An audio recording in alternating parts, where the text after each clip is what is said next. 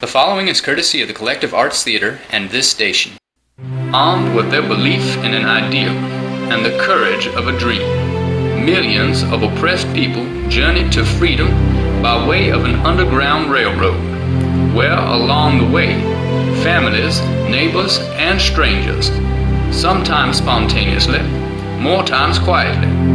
held true to the principle that the promise of freedom for all be upheld for every American citizen.